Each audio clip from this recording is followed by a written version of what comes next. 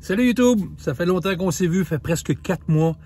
Qu'est-ce qui s'est passé durant ces quatre mois-là? Un petit recap, l'ambulance était vendue, ça vous le savez.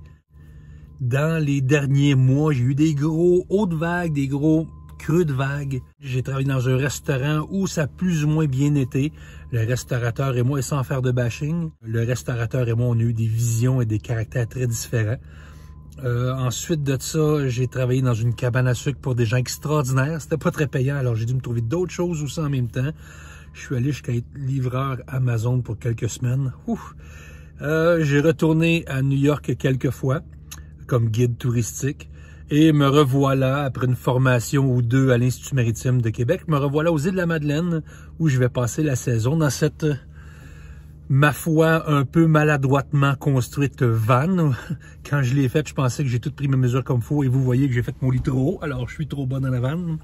On va passer l'été à parler de ça, à faire de cette chaîne-ci un vlog, non seulement sur la vie de la van life, sur mes aventures personnelles, sur des gens, j'espère qu'on va rencontrer qui vont être super le fun, j'en suis sûr, mais aussi sur la façon que euh, j'aimerais filmer je veux travailler aussi la façon que je filme, la façon que j'édite. J'ai pas encore trouvé ma voix et on va faire ça ensemble euh, probablement cet été.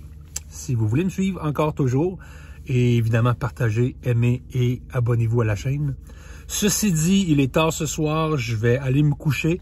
Je vais vous laisser sur un petit montage des derniers mois, des trucs que j'ai filmés.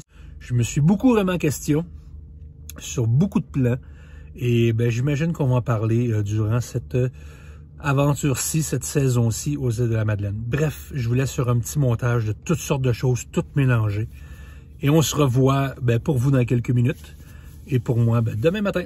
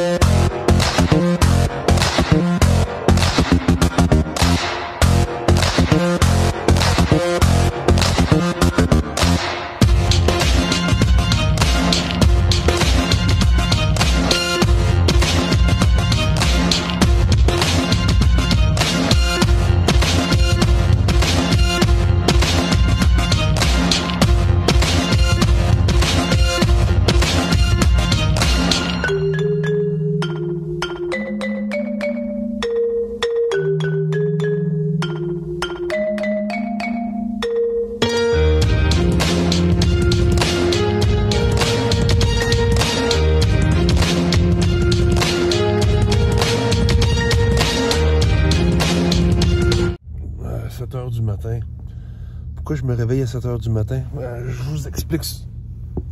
Je vais juste me m'habiller. Si je me réveille à 7 heures du matin, c'est simplement parce que je dors à la marina et le matin, quand je commence, la marina où je commence à travailler. Et c'est aussi la saison de la pêche aux îles de la Madeleine. J'ai la permission de dormir ici la nuit tant que je dérange pas ni au stationnement de la clientèle, ni au stationnement des pêcheurs. Probablement qu'au mois de juillet, quand la pêche va être finie, je vais pouvoir rester ici. Excusez. Probablement que quand la saison de pêche va être finie, je vais pouvoir rester ici comme temps plein. Là, le matin, je me lève tôt, je vais me déplacer comme ça. Personne ne sait que je suis ici. Je dérange pas personne. Et la Van Life n'a pas une mauvaise réputation comme à plusieurs places pourrait en avoir. Comme vous avez remarqué, je suis pas encore super bon, puis encore super habitué à filmer, mais c'est pas grave, je vais me donner à fond. Euh, parlons un peu des derniers mois. Euh, vous avez vu dans, le petit montage, euh, euh, New York était là. J'ai travaillé sur la vanne, on va parler de ça durant la saison.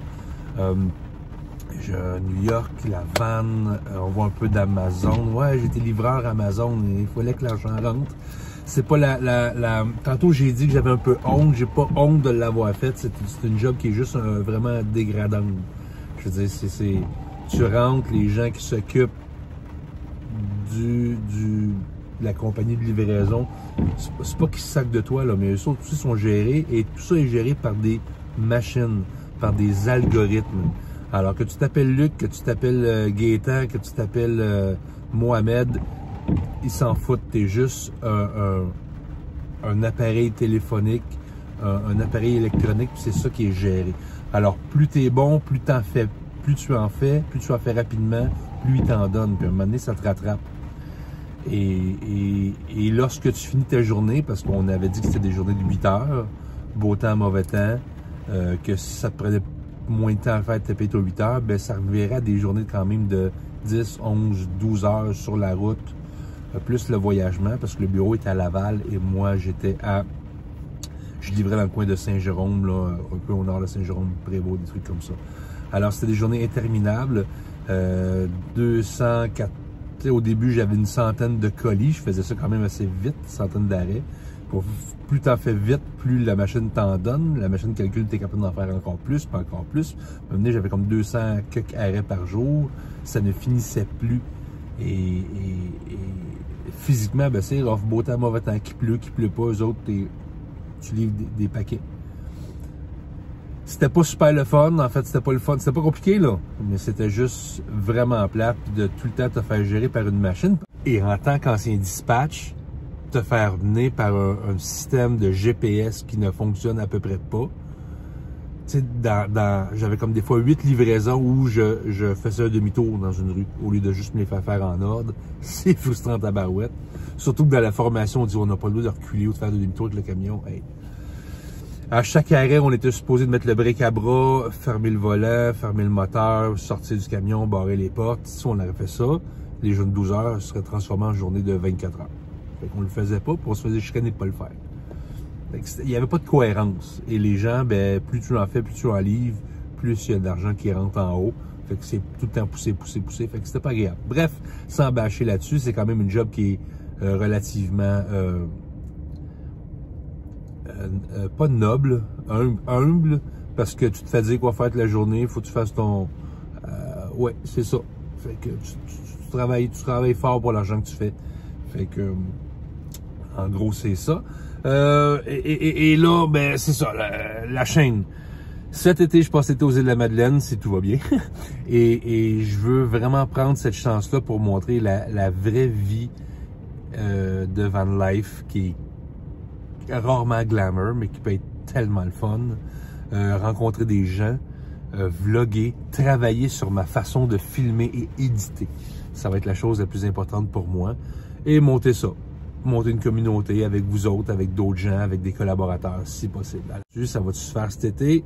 Croisons les doigts. Moi, j'y crois. J'espère que vous allez y croire aussi. Partagez cette vidéo-là. Aimez-la. C'est une courte vidéo qui me ramène dans la game et on va y aller euh, juste une journée à la fois, puis ça va bien se passer. Je m'en vais euh, m'installer, je m'en vais voir si je vais travailler. Je vous tiens au courant au fur et à mesure que les, jours suivent.